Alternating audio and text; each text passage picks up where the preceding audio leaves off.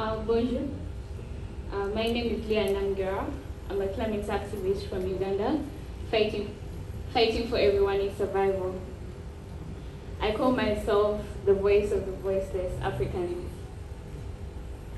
Ever since I got to know about climate change, my heart is saddened. It feels like I'm living a nightmare. My dreams are frustrated. My future is stolen. My present is broken. The climate isn't safe. And from that time, I stopped living like a child. I no longer cut cake on my birthdays. I instead plant trees as one of the ways to give back to the planet, to our dying planet. I mean, what better way to celebrate your birthday than to give a gift of life, which is a tree? I volunteer to be that wake up call to the sleeping humans every time I get, anytime I get an opportunity. The planet is undergoing a massive, uncontrolled experiment, rapidly revealing what happens when 2.6 million pounds of carbon dioxide per second and still rising are added to the atmosphere. All of humanity is participating in this experiment, either directly contributing to it or feeling its impacts.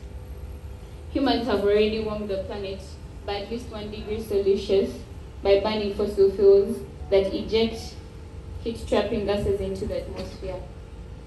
Almost every part of the world is experiencing the effects of climate change. Half of the global population already lives in cities, and by 2050, two-thirds of the world's people are expected to live in urban areas. But one of the most pressing problems facing cities is environmental degradation. Therefore, poor air and water quality, insufficient water availability, waste disposal problems, and high energy consumption will worsen by the increasing population and demands of urban environments. Strong city planning will be essential in managing this and other difficulties as the world urban areas swell. If you aren't terrified by the climate breakdown, you don't understand its full irreversible implications.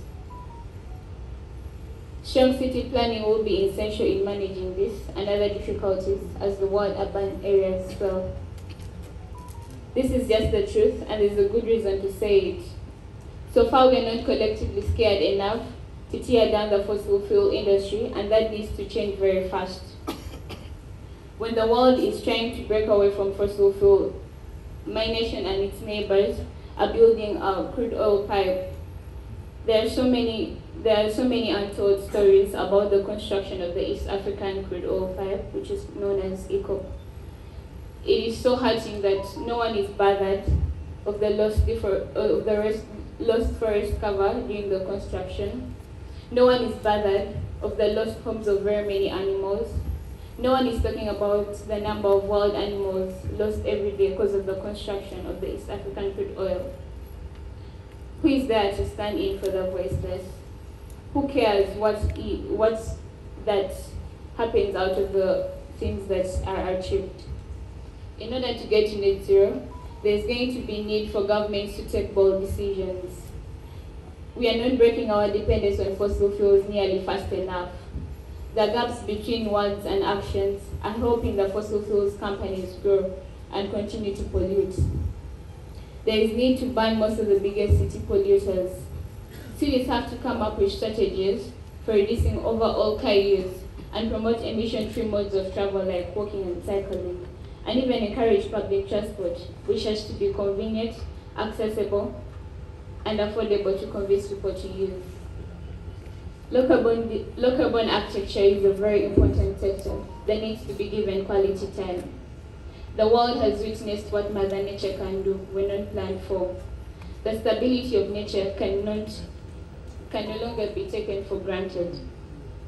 It is wise for low carbon design of buildings to go hand in hand with features that help mitigate the existing impacts of climate change, like heavy rainfalls and high temperatures. The way we get and use our energy consumes natural resources and emits greenhouse gases. You know, I, I'm, get, I'm getting tired of we are running out of time to act. Every year we keep saying the same thing. What are we waiting for? For the last tree to be cut? The last river to dry? What is that that we are waiting for to see? and know that we already ran out of time. There is an urgent need to turn to renewable energy to achieve a better, just, and more sustainable future for the planet. We must come together and through grassroots advocacy, create the change we need to see. We can all make a difference. It is time for our leaders to act because our future depends on it. Thank you so much.